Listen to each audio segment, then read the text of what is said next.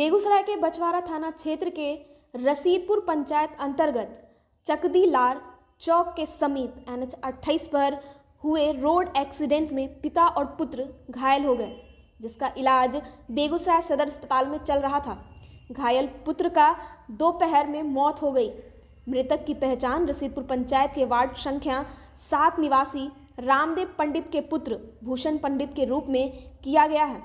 वहीं पुत्र भूषण पंडित का इलाज के दौरान मौत हो गया तथा घायल पिता रामदेव पंडित का इलाज चल रहा है।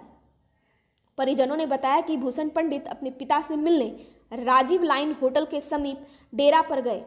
कुछ देर बाद अपने पिता के साथ अपने घर लौट रहे थे। उसी दौरान तेज गति से दलसिंह सराय की ओर से आ रही धर्मरथ बस के द्वारा ठोकर मार दी गई, जिससे पिता और पुत्र दोनों घायल हो गए।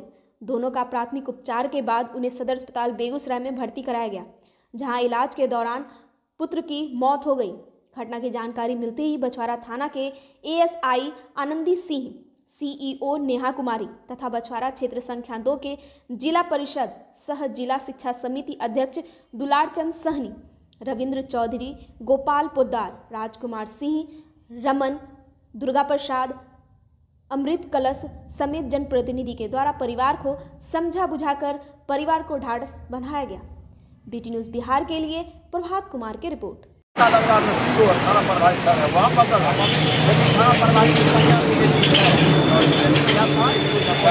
है जनता दरबार में यहाँ लाश पड़ल है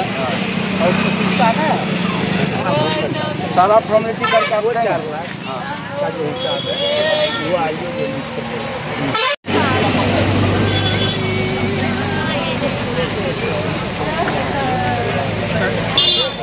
हाँ बोलिए ना, बोलिए। हाँ ये जी अच्छी रेट कर गया था, समझे? दस दस ना ये परसों शाम में किया था साइकिल से जा रहा है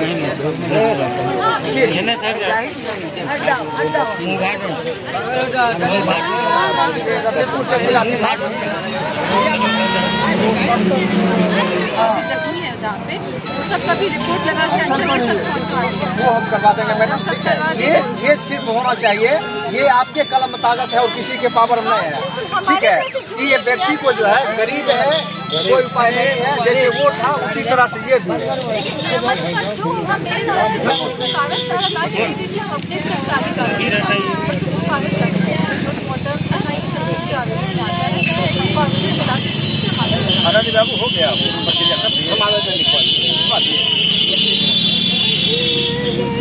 वो हम भी करवा दिया जाए क्या बोले? घोषित क्षेत्र बराबर जो उतना दूर से घोषित घटना है तो कंटिन्यू घटते रहा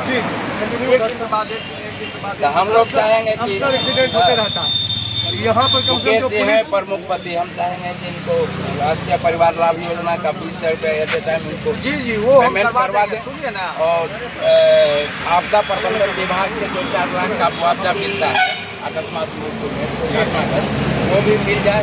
हम लोग आग्रह करते हैं इनसे है दें। परिवार से थाना क्या रुपया डीओ मैडम है बहुआ हटने जाते हैं बैठ है बैठ कोई टेंशन नहीं रह गया आपदा वाला जो चार लाख रुपया मिलता है उसके लिए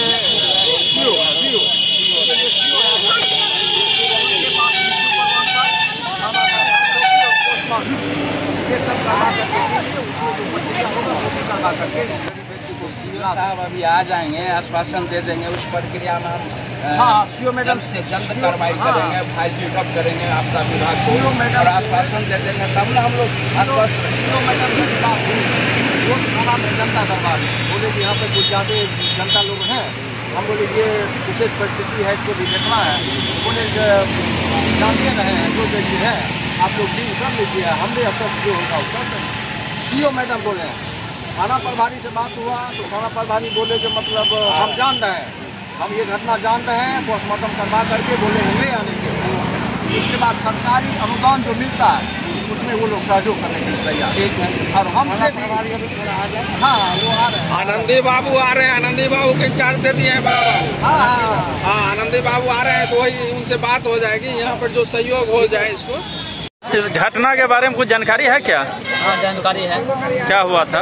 वो दोनों मामले का एक डेरा पर से आ रहा था। उधर एक्सीडेंट हो गया बस से। मालूम पड़ने के बाद में गए उधर हॉस्पिटल ले गए। बेटा पूरा बेहोश था। बाप को थोड़ा बहुत चोट लगा। उसके बाद तहसील से रेफर कर दिया। वहाँ से रेफर कर दिया। हाँ। फिर कहाँ ले गए? उसके बाद बेगूसराय लेकर गए। बेगूसराय लेकर उसके बाद वहाँ पे डेट कर गया उसके बाद घर आ गया क्या नाम हो आपका? मेरा नाम अमरजीत हो गया। कहाँ घर है? रसीदपुर तो आपका कौन वो लगेगा? भाई लगेगा बगल का। बगल के।